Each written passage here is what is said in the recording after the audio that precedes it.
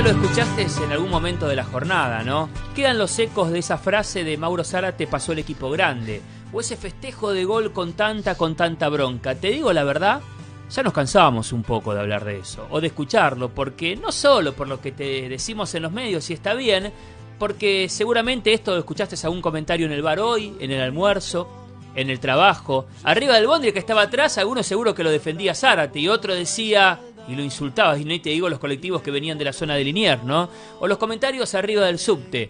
Pero nos preguntamos si como futboleros, o vos como futbolera también, ¿cambió en algo en la cabeza del futbolista? A ver, que se pican los partidos son históricos, nos acordamos de aquellas peleas que parecía que le arrancaba la cabeza a Chilavera Ruggeri, pero después terminaba y o seguían algunos cruces, pero eran otros tipos de cruces.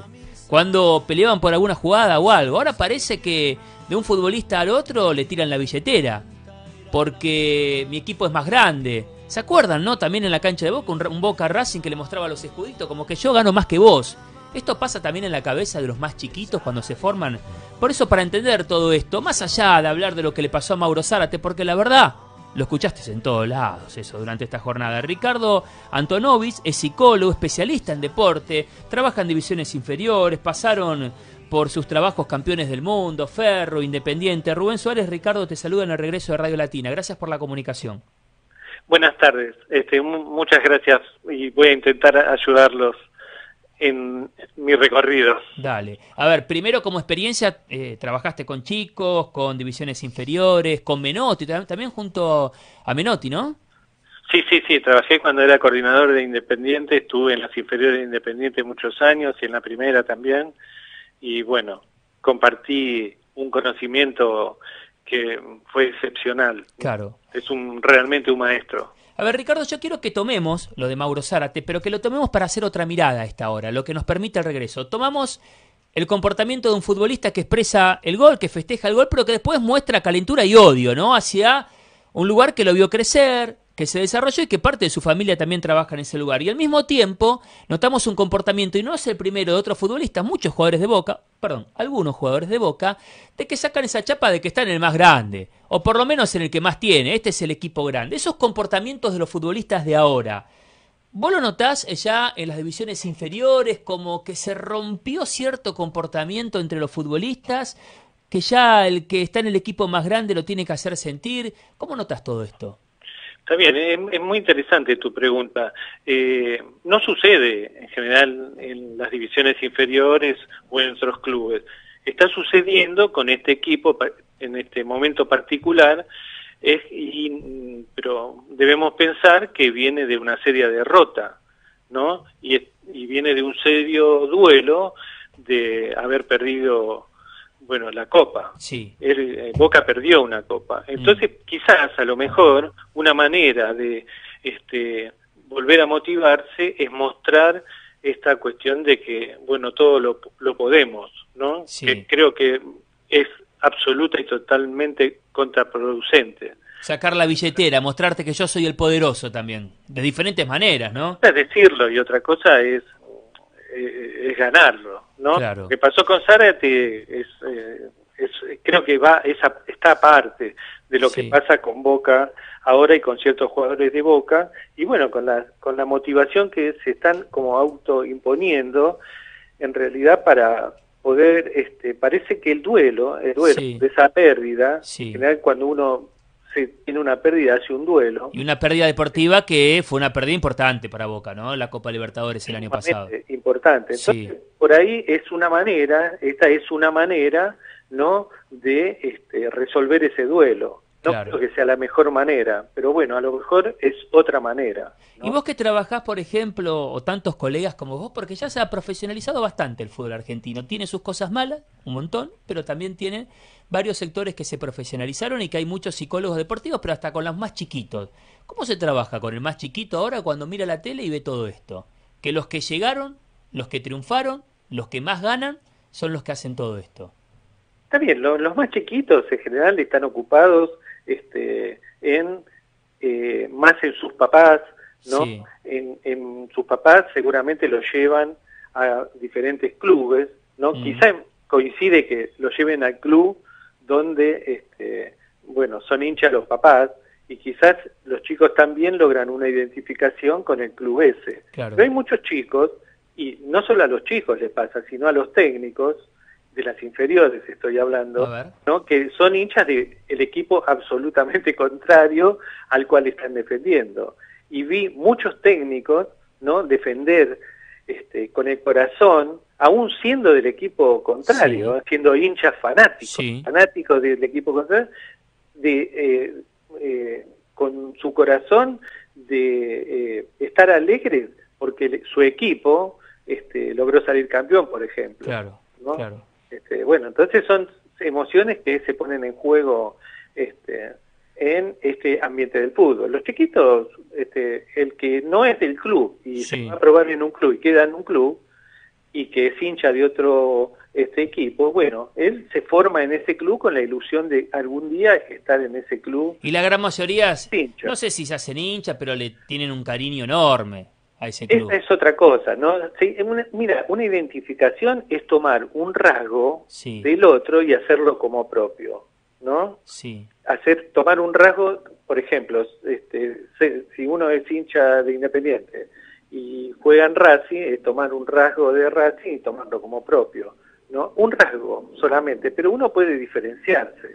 el problema es cuando no puede diferenciarse de ese rasgo que adopta, ¿no? Ahí, este, bueno, eh, entra otro problema que, que quizás se pone en juego la identidad. Como Yo soy ese, ¿no? Yo soy ese. y en los planteles profesionales, en los mayores, mayores que muchos tienen pibes como el plantel de Vélez, ¿no? Pero que se te mezclan otros con mucha más experiencia. ¿Hasta dónde juega el psicólogo? ¿Hasta dónde te escuchan, Ricardo? mira, yo en general eh, soy psicoanalista y nunca yo intenté ni nunca fui a decirle nada a ningún jugador de lo que debía hacer, porque saben perfectamente lo que tienen que hacer. Correcto. Pero cuando en un equipo de los que me tocó, y estuve en, varios equipos, ¿no? Hace mucho tiempo, fui uno de los que inició la psicología en el deporte acá en Argentina también, ¿no? Mm. Eh, bueno, cada vez que hay un jugador, y son muchos los jugadores, ¿eh? que requieren o que tienen una pregunta acerca de su rendimiento, de su problemática. Entonces, si hay un psicólogo, sí. ¿eh? pueden volcar esas preguntas o eso y bueno, después se puede lograr este, eh, establecer algún modo de trabajo para este, que el jugador resuelva eso que le pasa, sin darle ningún consejo. ¿no? Claro. darle las herramientas para que un jugador pueda resolver eso que le pasa. Esta es la dificultad que muchas veces tenemos con los técnicos que o con otros que dicen el psicólogo del equipo soy yo, no teniendo ni la, más remota idea de lo que es, ser un, un psicólogo o un analista. Bueno, hay muchos técnicos que hacían mucha fuerza para que ustedes no no, no ingresen ¿no? al plantel o que en, la, en la actualidad, y no, te creas que eso es hay muy pocos psicólogos trabajando en general están trabajando en las divisiones inferiores este, ahí donde están escondidos pero por ahí este eh, nosotros por ahí este, sembramos alguna cosa que en algún día o en algún momento eso este, alguno lo va a cosechar lo, mismo pasó con los preparadores físicos, ¿eh? Antes no sí, sí, los totalmente. físicos y bueno... O con las metodologías de los trabajos de los profes, que cuando le decían un poquito más, hace esto, el otro no, ¿para qué? ¿Para qué? ¿No? El para qué que mucho... Los, profes son absoluta y totalmente fundamentales en los equipos, ¿eh? porque son los, los últimos que hablan con los jugadores antes de entrar a la cancha, los que los calman, porque el técnico da su charla técnica y después se va a la cancha. Los últimos que hablan con los jugadores, los que los alientan, ¿eh? son los preparadores físicos y que también están, viste, como no están muy reconocidos. Sí, totalmente. Bueno, me imagino que además el fútbol te apasiona el fútbol. Por último, cuando veías todo eso que pasaba a ser y seguían hablando los jugadores y seguían hablando y seguía y seguía cuando uno creía, o por lo menos en algún momento, esto que se calme, no, basta, ya está, el gol y lo grita y lo gritas, es una explosión, es un festejo, lo que quieras, pero cuando seguían y giraba y giraba todo eso, ¿qué sentías? Mira, que el duelo, como hablábamos antes del duelo que está haciendo quizás el equipo, necesita ponerlo en palabras. ¿No? Y poner palabras a eso que sucedió, que no tiene palabra, como es la pérdida, porque una pérdida no tiene palabras, igual que la muerte. ¿Viste? Se hace un minuto de silencio cuando alguien muere. ¿Por qué se hace un minuto de silencio? Porque no hay no, no hay un decir acerca de muerte, no, no hay un relato. Entonces empezar a poner relatos acerca de, con eh, esos eh, cosas eh, de vanagloriarse en relación al triunfo y tapar ese duelo, que ese vacío que quedó, bueno, esto quizás sea una manera de utilizar ah, este equipo mm. de poner palabras a ese a, ese vacío que quedó por esa pérdida muy importante, porque ya no la recuerda nadie, pero ahí quedó una marca muy importante, que su mm. rival le ganó una copa en la cual podía alcanzar, por ejemplo, a Independiente en la cantidad de copas. Bueno, ojalá que a esos muchachos, porque son casi siempre los mismos en Boca, le den buenas herramientas para trabajarlo en la semana, ¿no? Desde el psicoanálisis y tengan otro comportamiento, por lo menos disfruten un poquito más de, lo que hacen, que es el fútbol. que le suceda, tengo mucho aprecio por el jugador de fútbol. Sí, ¿eh? totalmente. Son muy nobles este, los jugadores de fútbol. Y que, bueno, a veces uno deposita este, una ilusión en un jugador de fútbol. Claro. Si un jugador de fútbol fracasa, es como que fracasa el hincha. Claro. ¿no? Ricardo, gracias por la comunicación y por los datos. Bueno, muy amable y, muchas gracias por la invitación. No, de nada. Psicoanalista especializado en deportes, uno de los que inició la psicología en el fútbol argentino. Sí, lo último de Mauro Zárate, sí, como para ir terminando el tema, eh, dijo, lo que me hicieron en Amalfitani yo no me olvido.